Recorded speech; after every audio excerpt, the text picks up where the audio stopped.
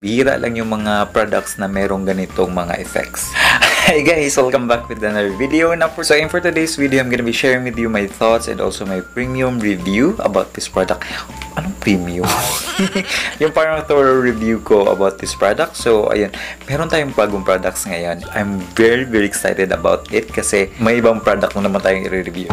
So, ayan, this one is your Lyco Sakura Serum. So, ayan, this one yung nakalagay dito, yung specification niya is this one can shrink your pores, remove acne, and also skin rejuvenation. So, ayan. So, ayan, before we begin, my name is Chris, and if you're interested sa mga skincare, skincare review, and also demo, I encourage you guys to like, share, subscribe, hit the notification bell para always get notified sa aking new uploaded video every week. And if you want to know my thoughts about this LIGO product, then keep on watching. So, ayan, nag-check ako sa Shopee last time and there's like so many skincare product ngayon na lumalabas. Pag sinabi kasing skincare na mura, I'm really, really into that kasi I really want to test it out before you do kasi I'm gonna be testing out and also I'm giving you my thoughts about this. So, ayan, before tayo pupunta dun sa ating mga skincare is please do wash your face. So, yan talaga yung pinakauna. So, cleansing, ayan, washing your face and then next one is toning. So, dito ka gagamit ang mga toners and next one is treatment. Dito na papasok yung mga Uh, serums and also mga creams. Next one or ang pinaka last one is yung moisturizing. So, so ayan guys, yung mga product na ibibigay ko sa inyo guys is makikita nyo siya online and also doon sa Watson. First na ibibigay ko sa inyo guys na recommendation when it comes to cleansing is this one. So ayan, I've been using this one for quite some time now. And yeah, I'm gonna be putting out more videos about this maybe soon. And then the next one is eto. So, so this one is meron dong T3. So ayan.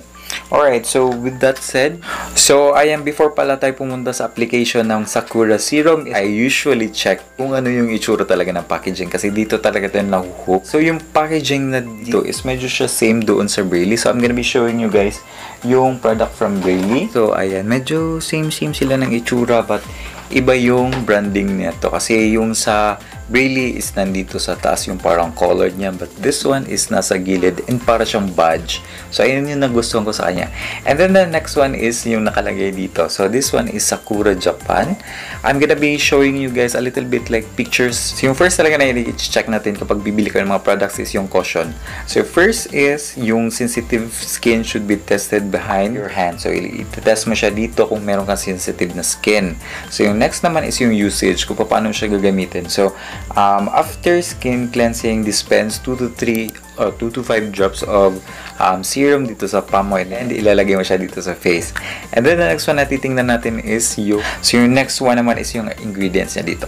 Uh, meron lang akong i-share sa inyo guys na konting-konti lang when it comes to ingredients kapag meron kayong hinahanap sa mga ingredients. So, yung first talaga na hinahanap ko is yung mga yung uh, hyaluronic acid, tea tree, and also anything na mga plant-based. Yan talaga yung hinahanap ko sa mga products. So, good thing naman about this one is meron siyang mga um, um, plant-based na material or ingredient. So, for example, dito, um, this one is your Pronus lanicia, lanisiana flower. So, this one is your sakura flower or also known as cherry blossom. So, ayan, yung pinaka-function ng cherry blossom sa ating skin, it can make your skin soft, tight, and Also, it can shrink your pores. Ang natitingnan natin dito is yung malic acid. So, yung acid is good for sensitive skin kasi yung malic acid is meron siyang exfoliating properties. So, nakaka-ease out siya kapag sensitive yung mga skin. So, ayun yung next naman is yung effect ng malic acid is for hydration. And also, it can make your skin smoother. So, and if you're just like me, I always check talaga yung mga verification codes dito. So, ayan, you can check the verification dito sa likod and also dito sa baba is makikita mo yung expiration date. So, ayan guys, don't buy skincare na wala mga expiration date or mga um, verification codes kasi that's a little bit fishy for me. And yung Lyco is made in China. Actually, yung mga murang skincare is from Taiwan and also China. And also Malaysia, I think may mga mumurahin silang mga skincare. So, ngayon is titingnan natin kung ano yung itsura nung bottle ng Lyco product nito. So, ayan, this is how it looks like by the way. So, ayan, This one comes with a dropper which is I like kasi same siya nung Braille products. Ayan, meron siyang dropper. Ayan. And by the way guys, this one is really uncanny for me kasi this one is made up of plastic. And actually, pwede mo siya ma-squeeze. So, ayan. Ano lang talaga siya. Hindi siya crystal or something. Packaging wise, I'm fine with it as long as yung product niya is napoprotektahan naman. So right now, i-smell natin kung ano yung smell niya talaga. Okay, that one really smells good. So this one, yung smell niya talaga is very very floral. So ayan, kaya nga 'di ba sakura. So ayan, sakura is a flower pala. So ayan, this one really smells super super nice. Like parang perfume, parang ganon. But it's not that strong na parang irritating sa nose. But this one is not. So, ayan, yun nagustuhan ko dito is hindi siya masakit sa ilong. So, ayun. That is a very plus for me. And now is tingnan natin kung gaano siya kalagkit or kalabnaw. So, ayan, one drop. Alright. So, medyo ano lang siya. Parang yung parang normal na serum. So, ayan. That one really works nicely. So, ayan. I'm gonna be trying this out mamaya sa face. So, ayan, once again guys, if your skin is sensitive, try this out dito sa back of your hand before kayo maglagay sa face. So, ayan, it doesn't feel like oily or something. Mm, Para siyang sticky a little bit. Really feels different than the Braley products. This one is really different talaga parang naglalak in yung moisture sa skin mo. Feeling niya, it's a little bit tacky, pero hindi siya heavy. So, ayan, ilalagay natin siya sa face in a bit. So, right now, yung skin ko dito is dry na siya and yung serum is also dry. So, ayun nga, yung napansin ko talaga dito is medyo siya parang bumaba na talaga siya. Parang, parang ganun. Pero it's not dry. Alam mo yun. So, ayan, right now, is ilalagay na natin to sa aking face. So, ayun, once again, guys, um, 2 to 5 drops. So that's 1, 2, 3, 4, and 5. Oh, pip, pip, pip. Ayun, ayun na. Tumulo na siya. So, ayan, I'm gonna be putting it down sa aking face.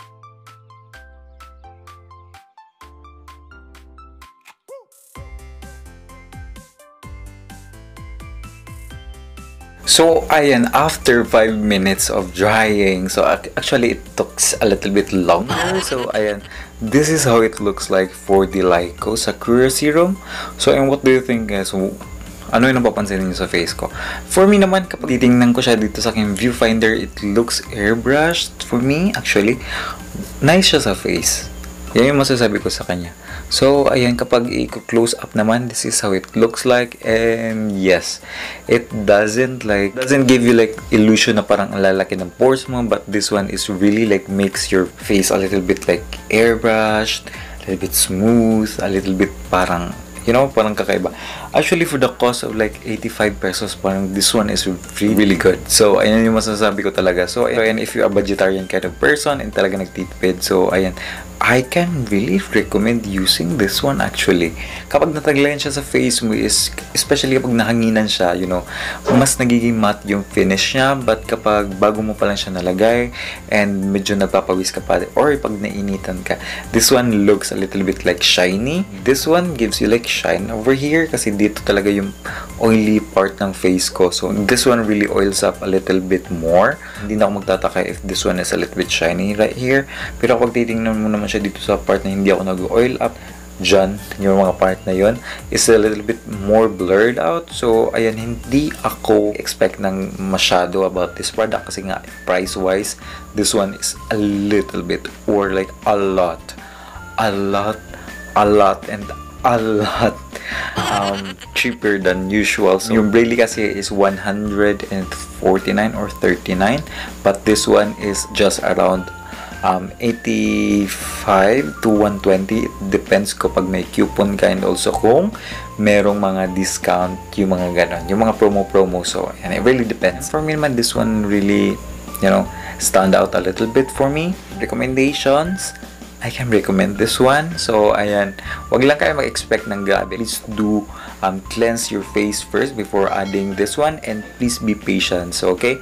So, ayan yung usual talaga na payoff ng ating skin or is after weeks or few months. So, ayan. This one looks decent for me. and looks good.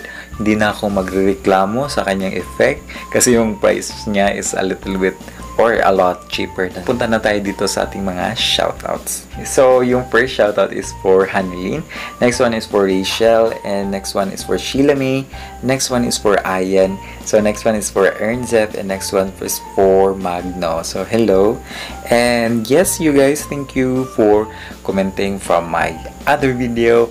And yes, kung gusto nyo mag-feature sa aking next video, please do comment down below kung ano yung pinaka gusto nyong part ng video natin. So, just like what I always said, I love you. I'll see you next time.